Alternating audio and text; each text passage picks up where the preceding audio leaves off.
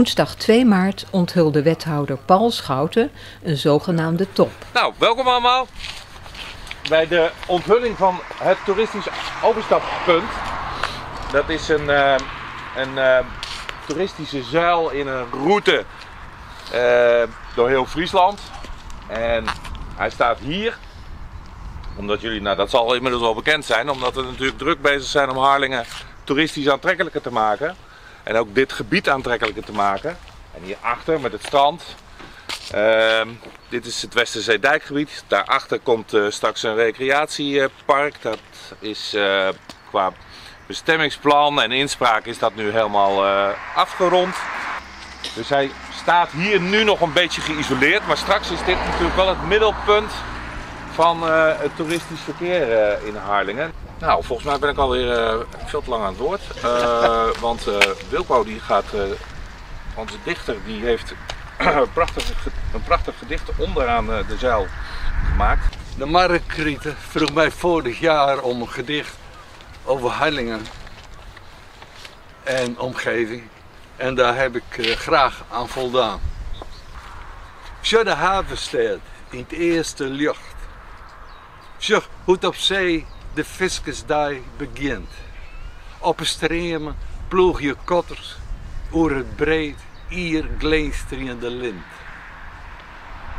Vleen mij de westenwind het lang Zag het ploegje van de bouwboel. Wolken, kobben, zweven ziekjend in het spoor van trekkerlood om voer. Jede klokken op een zuidenwind Gerrit Gunge van de oude stad. In het voele vuur van lette loskers glimt het skipshoed zwart en gleer. Zag het waad, het wiede boerenland. Jede skip, de lip, de jurk. Viel de stormnacht van alle kanten. Jer het kustlier onder het hege zwurk. Ik dank u wel. Ja, mooi. Mooi hoor. Heel mooi, Wilco. Ja, je kan het, hè. Zeker de moeite waard om vanuit hier een mooie wandeling in en om Harlingen te maken.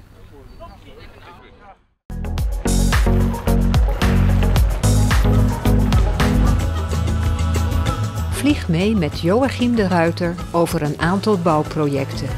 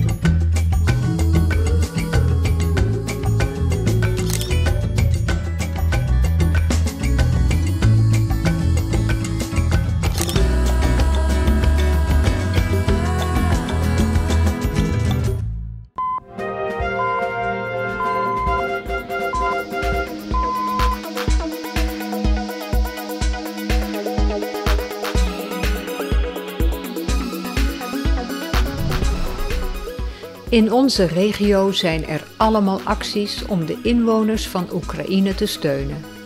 Zoals bij de RSG Simon Vestdijk. Ook de familie Nannesma uit Seksbieren is een spontane actie gestart waarop velen hebben gereageerd.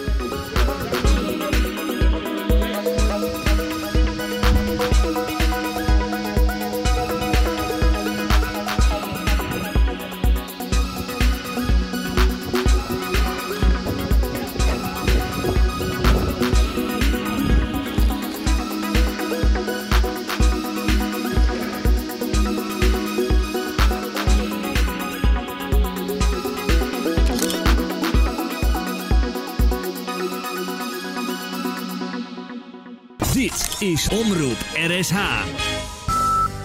Um, we kennen allemaal het singeltje Jij en ik alleen. En dat heeft een metrofoos ondergaan. En daar weet Nico meer van. Jazeker, ja. Ik had uh, hè, ik wil al jaren weer terug naar Hallingen. Dus ik ben uh, sinds november weer een oude zeun. En uh, Cor heeft mij enorm geholpen om hier weer terug naar Hallingen te kunnen komen. En, jij en ik alleen in een nieuw jasje. Hoe, hoe is dit ooit ontstaan, dit nummer? Hij kijkt Corrie aan en Corrie die denkt van, hoe zat het ook alweer? Ja, het, het is een hele tijd geleden, dus ik bedoel, ik moet even nadenken. Maar we zaten dus in, in, in, in, in een mooie tijd. Vooral die bandjes en uh, ja, daar moet er een plaatje komen natuurlijk. Voor de wat jongere luisteraars, Dio Nijkamp, jullie hadden vroeger een aantal optredens per week wel, hè, naast jullie gewone werk. Ja, ik denk wel drie of vier. En dan hadden jullie ja. bruiloften of gingen jullie naar de horeca? Nou, meestal, meestal bruiloften en, en partijtjes, maar er waren, er waren nog veel meer partijtjes als nu. Het klinkt heel mooi, het hoorde heel mooi, zei Corrie en Albertus zei het. Ja, staan we nu even naar luisteren? De nieuwe versie van Duo Nijkamp met Jij en ik alleen. Maar wat ik zoek vind ik er niet. Jij en ik alleen, met enkel maan en sterren. Jij en ik alleen, de palmen en de zee. Jij en ik alleen, en op de boulevard. Geluid van een gitaar, en jij zei Orova. En kuste mij met je armen om me heen. Het was of die nacht opeens de zon de stranden scheen. Nieuwsfotograaf Joachim de Ruiter is dagelijks op pad om het Harlinger nieuws vast te leggen. Kijk met hem mee.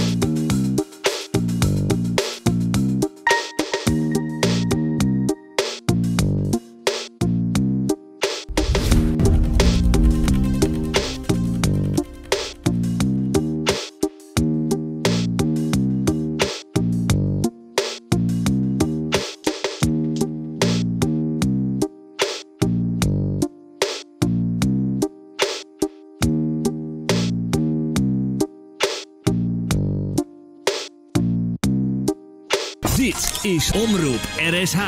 Maandag 14 maart jongstleden was het slotdebat. Helaas kunnen we niet iedereen in vier minuten in beeld brengen. Het gaat om een impressie. Kijk op de website van Omroep RSH om het hele debat terug te zien. Nou, goedenavond dames en heren. Welkom bij dit lijsttrekkersdebat. Het lijsttrekkersdebat voor de gemeenteraadsverkiezingen ja, 2022. Harlingen kiest. Maar wie kiest Harlingen? Wie kiezen de dorpen? Wie naam? De verkiezingsprogramma's van 2018 tot 2022 spreken van een verbetering van het ambtelijke apparaat, meer efficiëntie, uh, meer dienstverlening. Maar eigenlijk kunnen we alle punten die op mijn lijstje staan samenvoegen naar één punt en dat is volg Jezus. Ja, maar Jezus zit niet in de raad. Nee, Jezus zit niet in de raad, maar dat zou wel kunnen. Ja. Wie is de, de aandeelhouders, dat is de gemeente. Wie vertegenwoordigt de gemeente in de aandeelhoudersvergadering? Dat is de wethouder. En de raad staat op afstand. Nou, ik denk dat onderdeel van de ontwikkeling van de haven ook is zorgen dat het schoon blijft. Ik ben hele lieve ouders, maar op deze leeftijd wil je toch echt op jezelf. Ja. Je zoekt al drie jaar en hebt niks kunnen vinden. Nee, niet als beginnende koper. Niet als... Er zijn maar een aantal dingen die we hier kunnen doen. We moeten bijvoorbeeld met de provincie in gesprek gaan dat er meer ruimte is voor bouwen en ook meer ruimte is voor bijvoorbeeld flexibele woningen, tijdelijke woningen. Wat kost dat? Dat kost 280.000. Ja, dan heb je een starter, die kan het dus ook niet Ja, Ja, en dat, wordt, en dat komt gewoon door de raad. En er is niet eens een vraag over gesteld dat het niet een beetje raar is dat je dat de statuswoningen uh, presenteert. Het moet simpeler, het moet allemaal veel simpeler. En inderdaad één loket waar, waar ze geholpen worden en die te woord staat en die uiteindelijk het gaat regelen. Maar we geven uh, geen mogelijkheid mensen, voor mensen om elkaar te ontmoeten in de sporten zoals biljarten. Met oudere mensen die daar echt behoefte aan hebben. Ik... Wat wil je hier? Maar dat is niet wat wij willen, wat willen de mensen hier? Dat is ook de reden dat de cultuurvisie aangenomen is, unaniem in de gemeenteraad. Met een hele belangrijke kanttekening. Wij gaan in gesprek met de mensen die cultuur beoefenen. Dank jullie wel. Dank jullie wel voor die aandacht. Uh, voor die aandacht. Dank je wel mensen thuis voor het kijken. Uh, het woord is nu aan u, u thuis, nu hier in de zaal. Uh, want u bepaalt uiteindelijk hoe Harlingen er in de toekomst uit komt te zien. Dank u wel.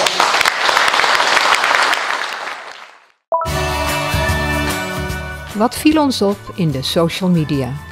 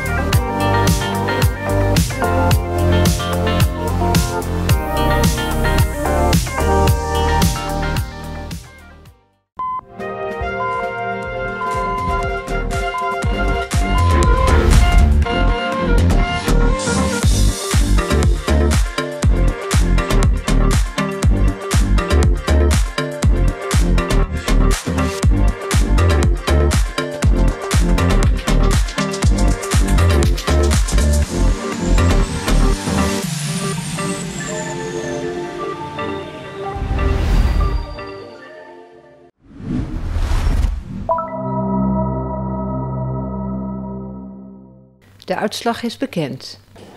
En dan kwam de eerste tussenstand. En de burgemeester had de eer de eindstand bekend te maken. Nou, dit is voorlopig de uitslag van Harlingen. Met als grootste partij de Partij van de Arbeid met 1425 stemmen. Als tweede, als tweede partij de Harlingenbelang met 1235. Als derde partij het CDA met 1147. De VVD met 9... Hier het overzicht van de zetelverdeling. PvdA 4 zetels, CDA en Harlinger Belang 3 zetels, VVD en Wallenpartij 2 zetels, de overige 1 en ChristenUnie geen zetel meer. Van harte gefeliciteerd, mevrouw en heren. Harlingen. Burgemeester Ina Scherps heeft op vrijdag 18 maart de gemeentelijke draagspeld uitgereikt aan de heer Siep Penninga. De heer Penninga heeft na 12,5 jaar afscheid genomen van zijn bestuurlijke taken. Naast zijn verdiensten voor de bedrijvenvereniging Oostpoort zette de heer Penninga zich belangeloos in binnen diverse bestuurlijke functies in Harlingen, maar ook buiten Harlingen. Dit doet hij met een onuitputtelijke positieve houding. De heer Penninga is een ondernemer, een doener en een verbinder. Gefeliciteerd!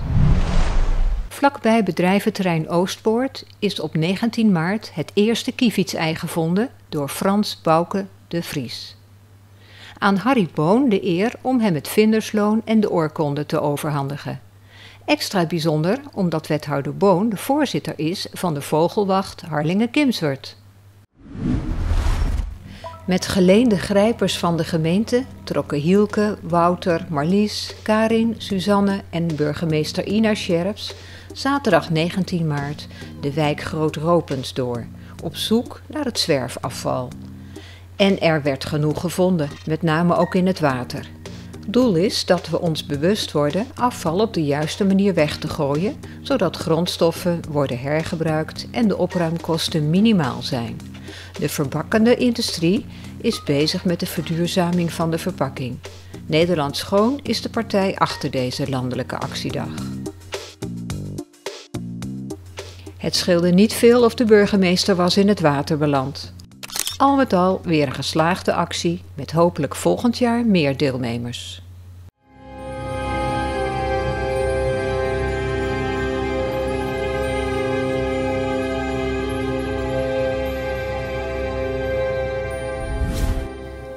Het overlijden van Piet Paulusma kwam niet alleen in Harlingen, maar in heel Nederland hard aan.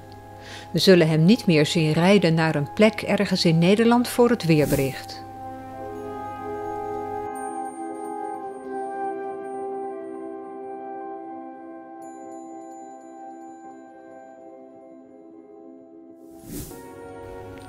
Op vrijdag 25 maart kon iedereen afscheid van hem nemen in het entrepotgebouw in Harlingen. En velen maakten daar gebruik van. Deze beelden laten we zien met medewerking en toestemming van Omroep Max.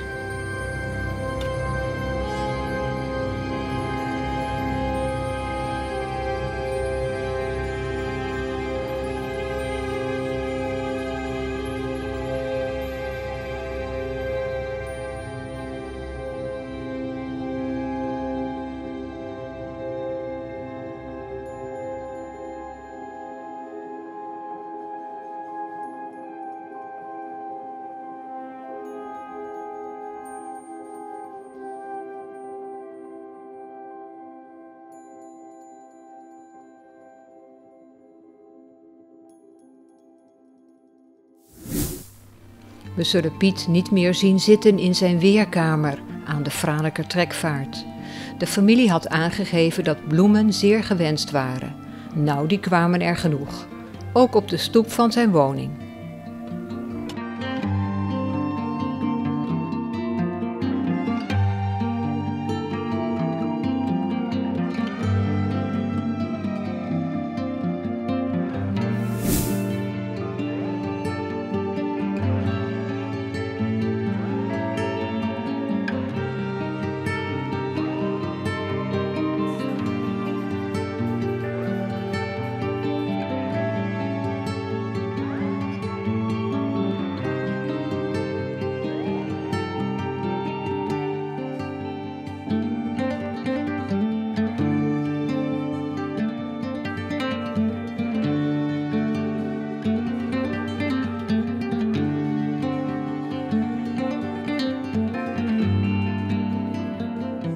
Ik ben hier voor Piet Paulusma.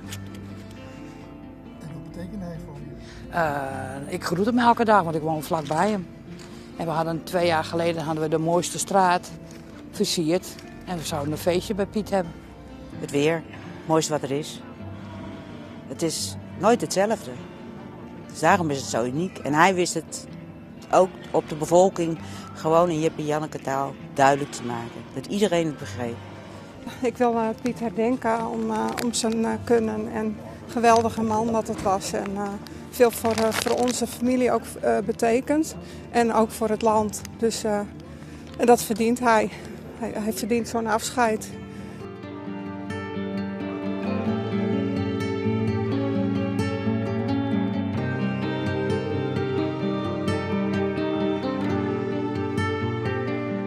Een hele goede vriend van mij.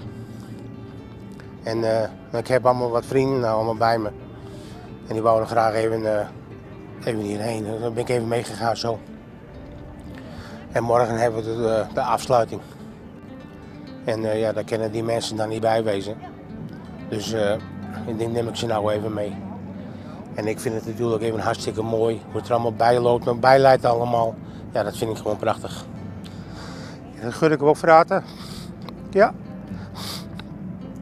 We hebben toch al uh, 20 jaar al gedeeld met z'n tweeën. Zo. Ik ben altijd als chauffeur voor hem geweest. Heel vaak rijden, was mijn buurman en het was mijn vriend.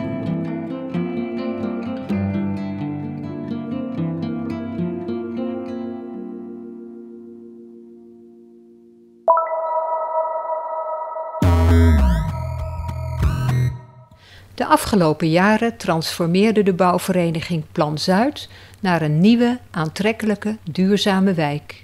Een groot project waarbij in drie fasen zo'n 300 woningen tegen de vlakte gingen en plaats maakten voor 320 nieuwbouwwoningen. Eind maart was het zover, de oplevering van de laatste 92 woningen.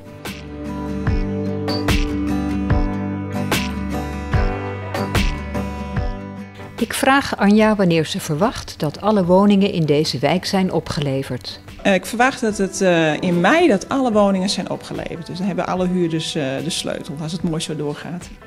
Wat maakt dit project uniek? Nou, Plan Zuid heeft de afgelopen jaren een hele metamorfose doorgemaakt. Het is nu een wijk waar het duurzaam is wonen. Dus dat scheelt een hoop op energiekosten, vooral in deze periode. Nu alles omhoog gaat. En uh, nou ja, huurders die kunnen hier veilig, prettig en gezond wonen. Gevarieerd aanbod voor appartementen, studio's en eengezinswoningen.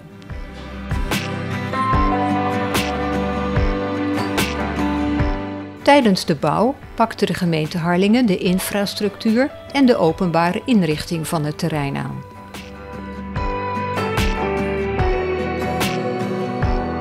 We nemen een kijkje in de nieuwe woning van de familie De Haan.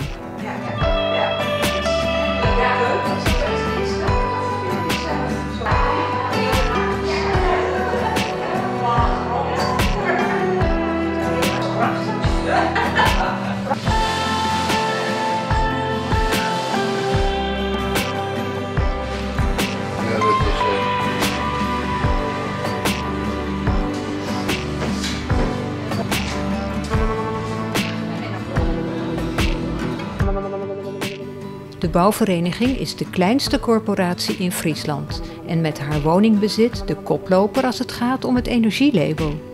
Sinds 2019 gemiddeld label A.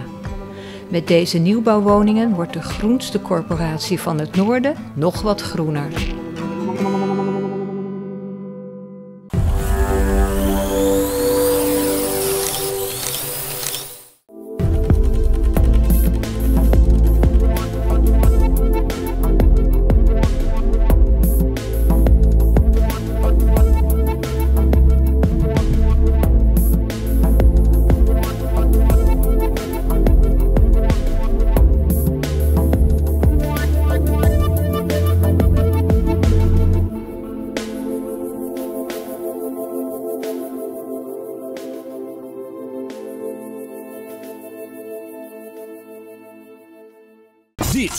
Omroep RSH.